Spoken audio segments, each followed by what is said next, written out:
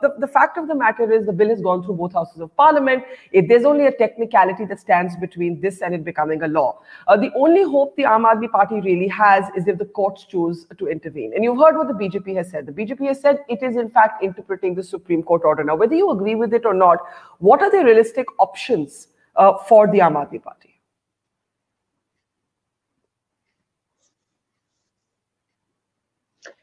See, the thing is that, uh, Barkha, that I think it is very clear that this is not an interpretation of the law. This is very of the Supreme Court order.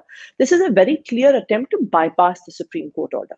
This matter about the powers of the Delhi government versus the central government was in the courts of law for several years. It went to the Delhi High Court, then it went to the Supreme Court, then it went to the constitutional bench of the Supreme Court. And the constitutional bench of the Supreme Court very clearly ruled that apart from land, law and order, and police, all other powers lie with the Delhi government, the elected government, and the elected legislature. Now, what you're clearly seeing is that this is what the constitution bench says is the appropriate interpretation of article 239 aa of the constitution now what is the bjp here attempting to do it is attempting to bypass this constitution and it is saying that we could not win power in Delhi by the constitutional mechanisms of defeating Arvind Kejriwal and the Aam Aadmi Party in the elections. So let us usurp this power. Let us now say that there can be no executive action by the Delhi government, no decision by the cabinet, no decision by the ministers, unless they have the approval of the lieutenant governor, which basically means that our undemocratically appointed nominee has power over a government that has, has a massive democratic and electoral mandate.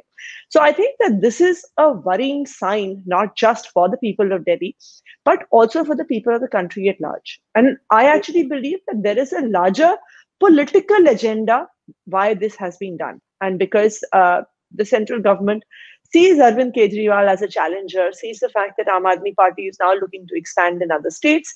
And this is the reason why this has been done. Okay, so two different points there. You made a legal point and a political point. Let me pick up the political point that you made first. Even Sanjay Singh of your party made the same point in parliament. The Prime Minister Modi is scared of Arvind Kejriwal. Why would you say that? Why would you why would the Prime Minister uh, you know, with the BJP sort of mostly winning spree on, on, on all recent elections, need to worry about Arvind Kejriwal. I will come to the I will come to the bill itself, but I'm just curious to understand why you think that this is a political insecurity about Kejriwal and not uh, the unique position of Delhi, which is short of complete statehood.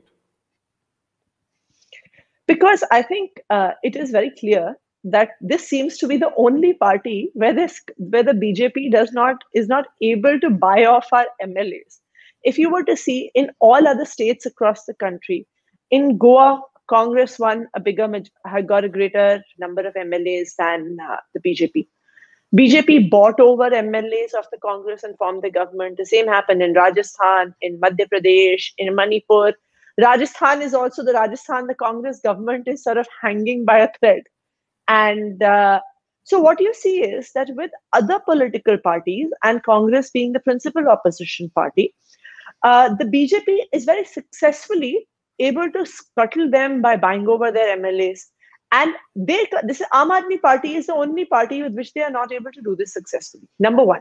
Number two, I think the other thing that has deeply bothered the Prime Minister and the BJP is Aam Party's successful electoral debut in Surat in the municipal council elections in Gujarat. There you have that Aam Aadmi Party, in the first time that they contested elections, is the number two party. Congress is down to zero. Now it is mm-hmm. Aam Aadmi Party with its expansion plans across the state, where a recent survey on one news channel is showing that Aam Aadmi Party is forming the government in Punjab, is getting a decent number of seats in Uttarakhand. We had number two in the municipal elections in Surat. So Aam Aadmi Party is potentially a large threat to the BJP if it begins to spread in other states. And it is this reason why he, he does not want the prime minister, the central government, does not want this Kejriwal model to establish itself further in Delhi and to spread outside Two points there, uh, Atishi. Do you now see this as a legal battle or, or as a political battle? Delhi votes in an intriguing uh, it votes or it has voted one way when it comes to parliamentary elections and another way when it comes to the assembly elections, which seems to suggest uh, that even if you try and convert this into a political issue, the, the, voter of Delhi separates the center from the state. That's the first point. To Aarti's more intriguing point, that while there was a lot of noise and the Congress rhetorically supported you, it's not as if there was a joint opposition strategy in Rajya Sabha to stand up and block this particular bill. Why do you think that actually happened, and where do you intend to take this fight uh, from now? So I think definitely that there is a legal battle to be fought, and uh, we are in process of consulting uh, different lawyers and seeing how it can be taken forward. Because I think we are very clear about the fact that this bill is unconstitutional. Uh, there is no doubt about that. Number one.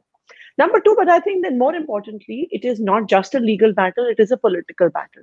It is a political battle about how politics will be done in this country. It is a political battle about how uh, the centralizing and almost uh, tyrannical way in which that the BJP tends to rule uh, in different parts of the, uh, it, how it tends to rule as a central government.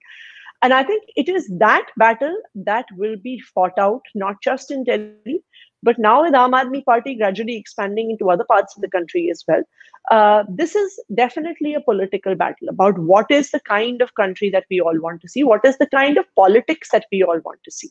Because after all, despite everything that the BJP has done, have they been able to deliver a governance model that works in the interest of the people? No. You see, farmers are still protesting, and inflation is still a huge problem. Unemployment is a huge problem. So, after all, politics has to center around delivery to the common man of this country. And that is really where this battle is going to be fought.